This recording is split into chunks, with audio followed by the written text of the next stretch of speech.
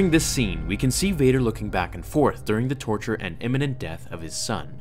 But what was he really thinking at this time? Hey everyone, in this video I'm going to read out the select passages I found to be insightful on Vader's thoughts and feelings during the ending scene in Return of the Jedi.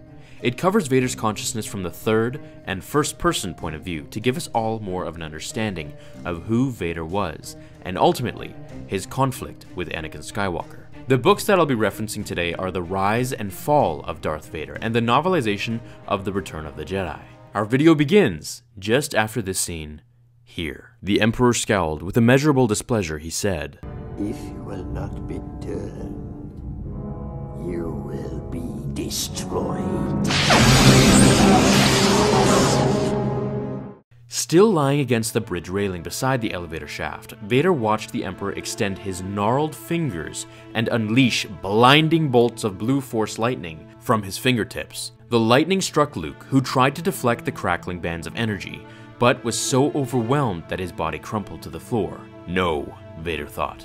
No, not like this. As the Emperor continued to strike Luke with his barrage of Sith lightning, Vader struggled to his feet. One leg was broken and the other wasn't working right. Moving awkwardly, he shifted his bulk to stand beside his master. On the floor, Luke writhed in agony and was on the verge of death. As he groaned,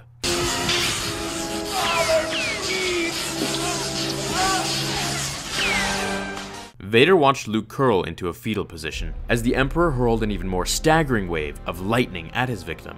Vader had no doubt that Luke was about to die. His son screamed. Not just my son, The Emperor unleashed another round of lightning. or Padme's son, Luke screamed louder. but my son, who loves me.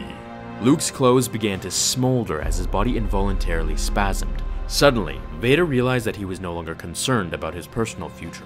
He knew he could not stand by and allow the Emperor to kill Luke. And then, in a moment, something changed. Perhaps he remembered something he heard in his youth a long time ago. An ancient prophecy of the Chosen One who would bring balance to the Force. Perhaps the vague outlines of someone named Shmi and a Jedi named Qui-Gon struggled to the surface of his consciousness. The most powerful, the most repressed thought of all could have emerged from the darkness. Padme, and her undying love for someone he once knew well. And despite all the terrible, unspeakable things he'd done in his life, he suddenly realized he could not stand by and allow the Emperor to kill their son. And in that moment, he was no longer Darth Vader. He was Anakin Skywalker.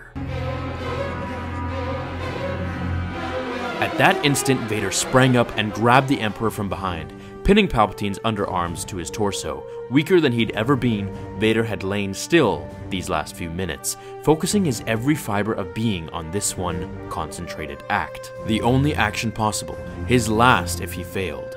Ignoring pain, ignoring his shame and his weakness, ignoring the bone crushing noise in his head, he focused solely and sightlessly on his will. His will to defeat the evil embodied in the Emperor.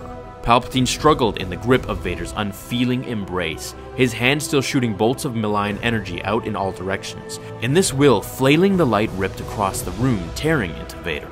The Dark Lord fell again, electric currents crackling down over his head, over his cape, and into his heart. He held the wailing Emperor over his head, and with a final spasm of strength, hurled him into the abyss. Palpatine screamed as his body plummeted down the shaft. Still trapped within Darth Vader's armor, Anakin collapsed at the shaft's edge, but heard the explosion of dark energy that consumed the falling Emperor. Hearing his own breathing as a rasping rattle, Anakin knew that Vader's helmet respiratory apparatus was broken. Luke crawled to his father's side and pulled the Dark Lord away from the edge of the chasm to safety.